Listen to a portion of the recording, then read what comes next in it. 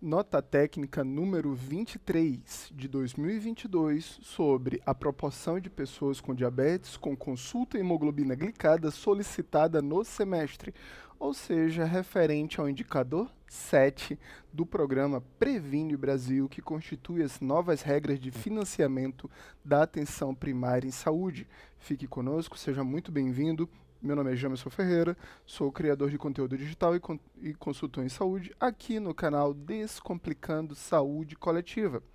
Bom, como a gente faz em todos os vídeos, é sempre muito importante a gente deixar claro que esse canal aqui ele é de vocês, ele é de todas as pessoas que querem melhorar os seus resultados na atenção primária. Né? Já chegamos a 6 mil 120 pessoas, queremos chegar a 10 mil e continuar crescendo.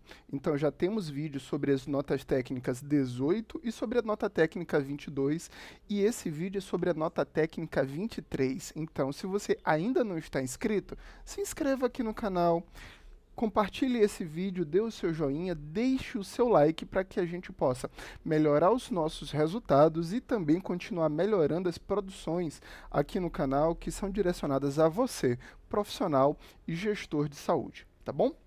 Então, depois dessa apresentação, vamos mergulhar no portal da atenção primária, o portal da SAPS. Qual é o endereço? aps.saude.gov.br. Bom, quando você é, estiver navegando neste portal, você vai clicar aqui do ladinho, ó, aqui do lado da minha imagem, em Financiamento da APS. Logo depois, você vai clicar em Previne Brasil. Vamos repetir? Financiamento da APS, logo depois clique em Previne Brasil. Em Previne Brasil, você vai subir aqui a tela e vai clicar em Materiais de Apoio e Legislação. Logo depois disso, dentro de materiais de apoio e legislação, clique em Notas Técnicas. Depois de clicar em Notas Técnicas, procure aqui a nota técnica do seu interesse. Como a gente já falou da nota técnica 18 e da nota técnica 22, neste momento vamos falar agora da nota técnica número 23, que é uma atualização no indicador 7 da área técnica de diabetes mellitus tá bom? Então você vai clicar aqui, ó, nesse link e vai abrir a nota técnica número 23, tá? Então vamos jogar em tela cheia, aumentar o tamanho da fonte para que a gente possa conversar com bastante tranquilidade. A primeira coisa que a gente vai trazer aqui para todo mundo que está assistindo esse vídeo, o indicador permanece, né, que é o indicador 7.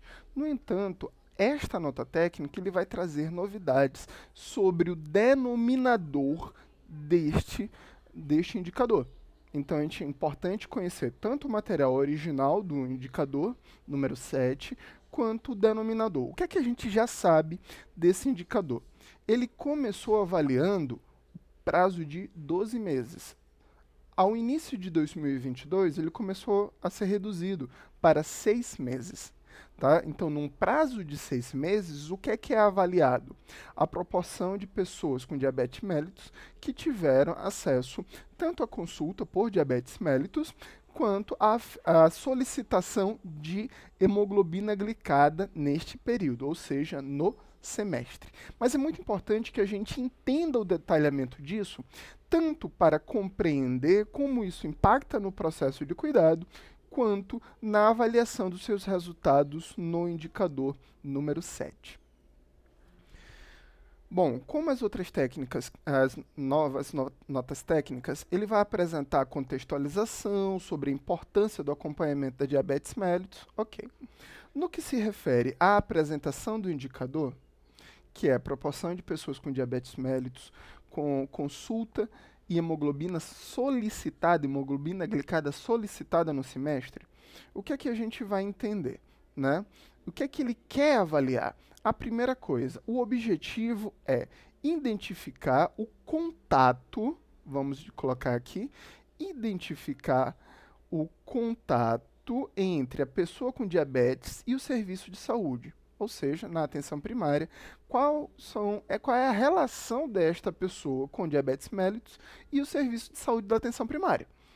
Então vamos continuar. Para o atendimento e solicitação de hemoglobina glicada com vista à avaliação de níveis glicêmicos e determinação da condição se está controlada, visando a prevenção da morbidade.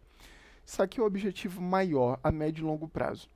O que ele vai avaliar é a oferta de serviço para o atendimento a esta pessoa que está com diabetes mellitus e dentro do atendimento se ela tem acesso à hemoglobina glicada e posteriormente, obviamente, a gente não vai só solicitar, a gente vai solicitar para que ela venha fazer o exame e depois avaliar o resultado desse exame e desenvolver uma estratégia de cuidado alinhada à necessidade de cada indivíduo.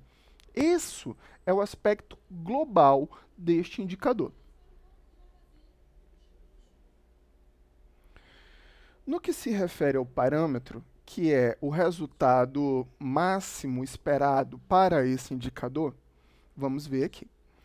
A necessidade de avaliação clínica e a periodicidade, no mínimo semestral, para pessoas com diabetes dentro da meta glicêmica é que a cada três meses, né? Se a meta pactuada são, re são recomendações consolidadas. Que recomendação consolidada é essa? Qual é o resultado desejado? Era de 100%. Ou seja, que todas as pessoas que tivessem é, diabetes mellitus na informação ou no cadastro ou durante o atendimento, durante um semestre, todas essas pessoas devam ser atendidas e sair de lá com pelo menos a solicitação da glicemia glicada realizada para que depois ela venha a fazer o exame. E, obviamente, retornar, analisar o resultado e construir o seu processo de cuidado. Mas para um indicador, durante um semestre, que todas as pessoas com diabetes mellitus pudessem ser atendidas. Esse é o parâmetro. Isso é o que é ótimo, é o que é ideal. Mas a gente sabe que até chegar no parâmetro, a gente caminha gradativamente. Então, qual é a meta? A meta é o processo gradual até chegar no parâmetro. Então, a meta é de 50%. Então, para que a gente possa chegar até os 100%, pelo menos 50% você atende a meta do indicador. O ideal é que você, da sua equipe de saúde, se organize ao longo de seis meses para atender todas as pessoas com diabetes mellitus daquela população que está vinculada à sua equipe, tá bom? Isto é um indicador. Quando a gente fala em cálculo do indicador, como é que a gente vai entender esse cálculo? É uma proporção, então é uma divisão vezes algum número. Beleza. Então, para que a gente tenha a análise desse indicador, esta pessoa com diabetes mellitus, e essa informação ela vem da onde? Da base cadastral ou do histórico de atendimento desse indivíduo. São duas possibilidades. O denominador, que é o que está abaixo, que é a, é a parte de baixo da divisão, é isto aqui. Tem três possibilidades da gente ter fontes de informação desse indicador. Quando o Ministério da Saúde decide utilizar o denominador informado no CIS-AB, a fonte de informação desse denominador informado são duas. Ou ele vem da base cadastral, essa informação, através do campo autorreferido de saúde, ou ele vem do histórico de atendimento deste indivíduo, ou por médicos ou enfermeiros das equipes de atenção primária. Então, ou da base cadastral, ou da base de atendimento, se essa informação ela é somada. E aí nós temos o denominador identificado CISAB.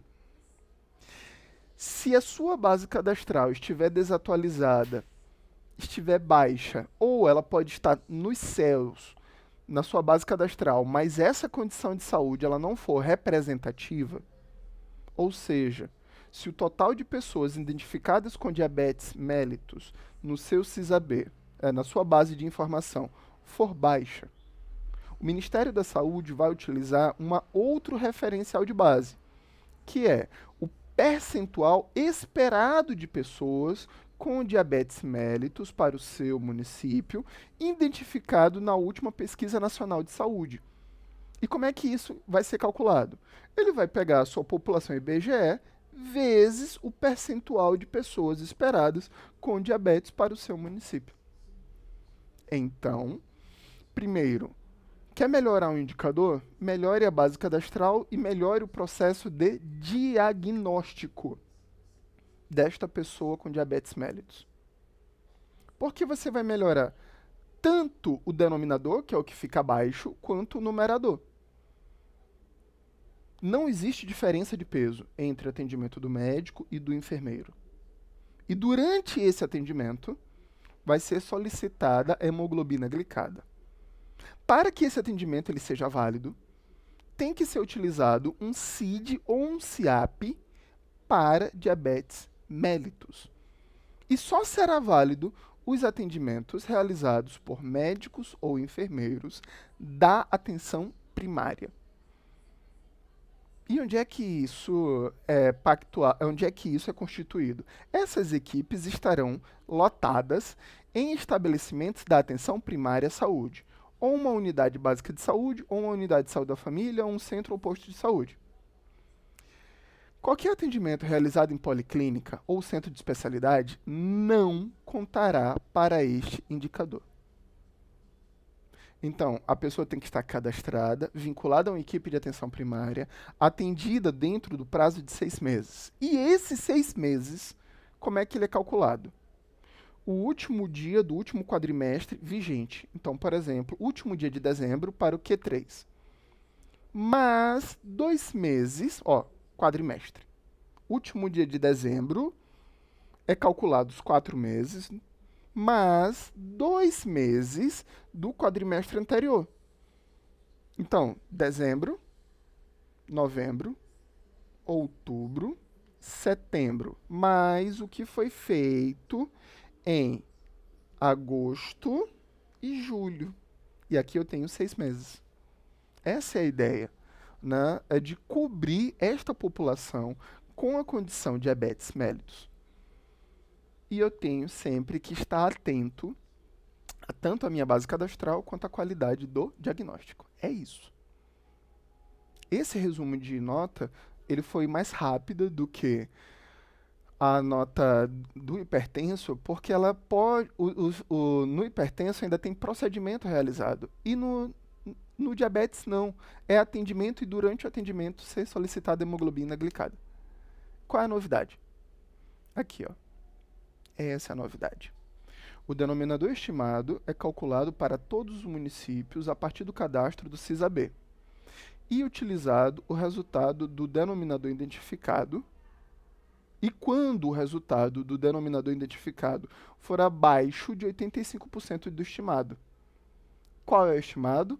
É o percentual de diabéticos para o seu município.